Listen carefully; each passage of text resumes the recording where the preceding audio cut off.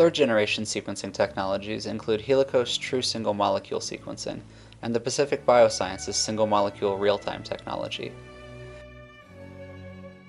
The Helicos single molecule sequencer actually allows for sequencing without PCR amplification of the DNA, enabling shorter preparation times while decreasing the chances of error. First, the DNA is broken into fragments of 100 to 200 nucleotides each.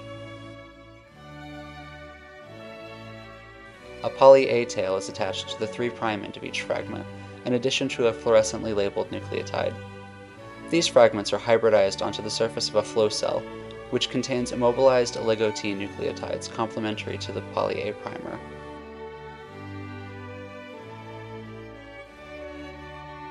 DNA polymerase and fluorescently labeled nucleotides are introduced into the flow cell, where the nucleotides are added one at a time complementary to the template fragment.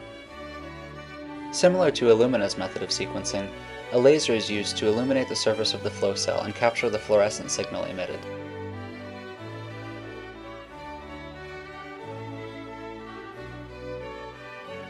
However, Helicos records the addition of each nucleotide on a single DNA fragment, as opposed to Illumina's cluster-based sequencing system.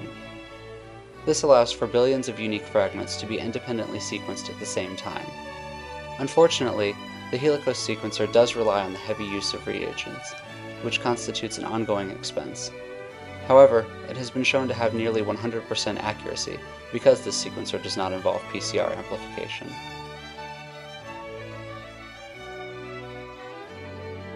Pacific Biosciences has developed single molecule real time DNA sequencing technology, also known as SMRT.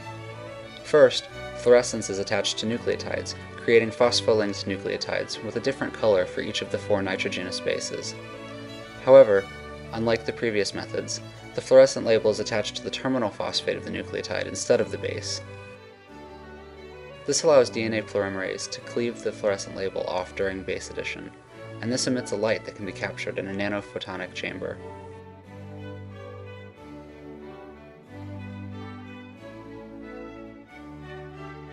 The SMRT sequencer uses zero-mode waveguides, which are essentially small pores that are surrounded by metal film and silicon dioxide that enables the detection of single molecules while DNA polymerase replicates the chain inside the well.